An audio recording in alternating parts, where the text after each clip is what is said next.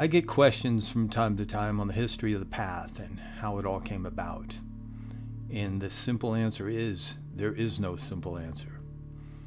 To begin with, those who ask this question need to understand that the left hand path is the heretical aspect of an established doctrine. Its history is a part of the history of something greater, if you will.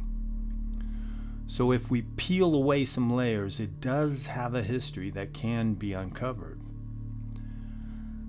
I myself had asked many times who was that first person to, to declare that they were on the path to divinity, to self deification, or sinister illumination. And to understand its past, it's important to know where the path is leading understand its goals, its destination.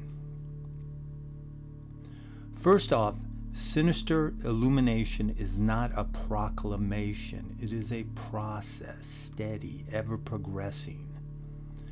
There will never come a time when you can announce to the world that as a God you henceforth reign supreme over all existence.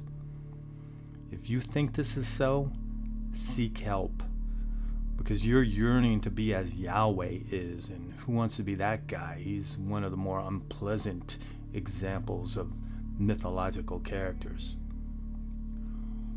What you are striving for on this path is a state of mind, and one, when reached, you must work to retain.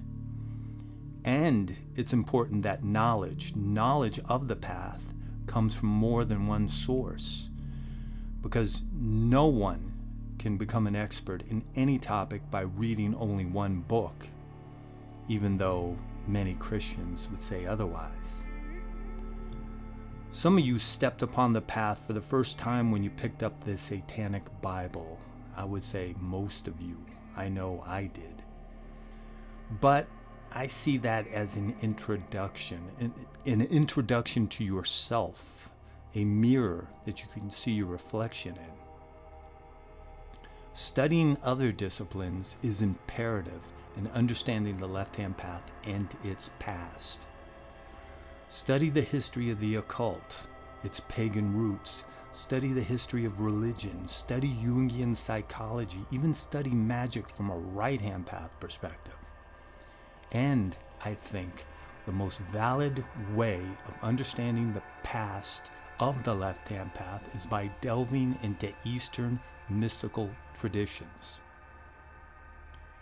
In the West, that ancient tradition, the eternal natural law, which now is referred to as paganism or witchcraft, was all but destroyed by the Abrahamic faiths, namely Christianity and Islam, whose dogmas preach that one must seek salvation through subservience to the divine and much of what we know of the eternal natural law is filtered through a warped Abrahamic misunderstanding. And many have attempted to revitalize those old ways, but whether they realize it or not, it's often based upon the bastardized Christian misinterpretations. Wicca is an obvious example, as are many forms of modern paganism, like those attempting to resurrect the Greco Roman, Norse, and Celtic traditions. They're all based upon guesswork and faith, and faith on the filtered doctrines they've read.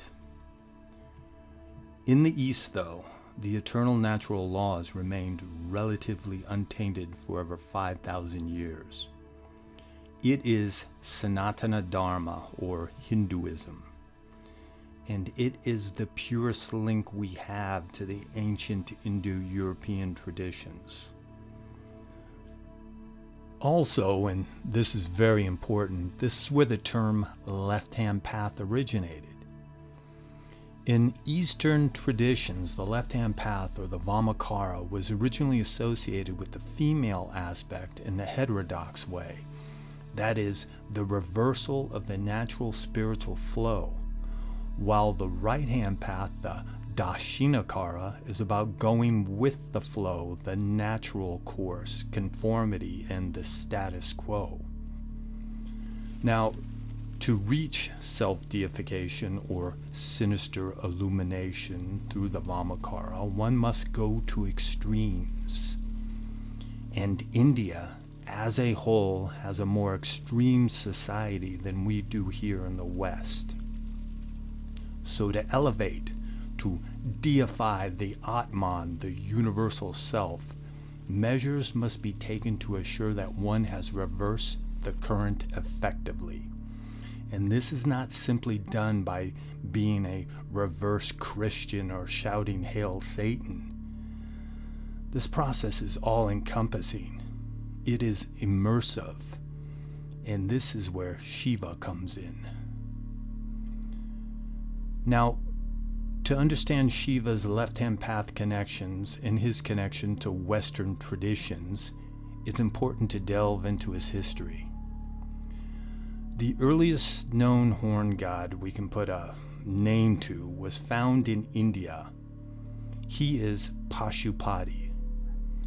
On this 5,000 year old seal, Pashupati is horned, seated in a lotus position, surrounded by animals with his arms pointing down toward the earth. Now, this is very similar to the image we have of Cernunnos of the Celts depicted on the 2,000 year old Gundestrup cauldron but there is a 3,000 year gap between Pashupati and Cernunnos. Now, there are some questions, and I've asked them before myself, and that is is this an example of racial memory, or are they different avatars of the same archetypes of the collective unconscious? Or do they both stem from a long forgotten Indo European horn god? Or is it all of the above? Who knows? This seal, though, is an anthropomorphic form of one of the most significant finds attesting to the prevalence of a Shiva cult in pre Vedic India. For Pashupati evolved into Shiva, the left face of Brahman. Where Brahma is the creator and Vishnu the preserver, Shiva is the destroyer, the divine representation of the uncultivated, dangerous, and unpredictable aspects of nature.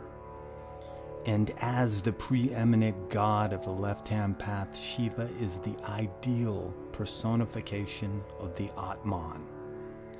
To put it simply, he represents the deified you. Even though his violent essence is conveyed through metaphorical imagery, Shiva should not be feared, for his fury only burns away the walls of ignorance and self deception. Some Shaivists, though, have rebelled against the standards of Orthodox Hinduism, daring to go to extremes to test the bounds of madness believing that Shiva is a representation of the deified self, they make their own rules. And since all things, good or bad, are aspects of the absolute, nothing is taboo. While chanting, I am Shiva, they, they carry out bizarre sacrificial and sexual rites, eat meat, sometimes human, and alter their consciousness through any means possible. They do all this because they believe it is a shortcut to self deification. But, and this is very important, they are not trying to become one with Shiva. They don't want to sit in his lap. They long to deify the Atman, to become Shiva, to become the God.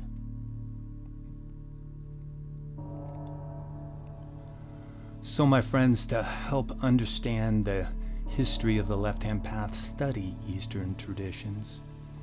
Because their culture hasn't been tainted with the Christian good bad duality or the real not real argument, which has resulted in the gods here in the West becoming vague abstractions. In the East, they retain a certain purity reflected in the fact that their gods are complex, multidimensional beings, as all Indo European gods once were.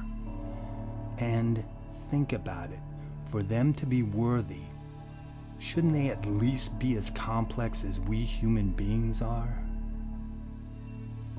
Until next time.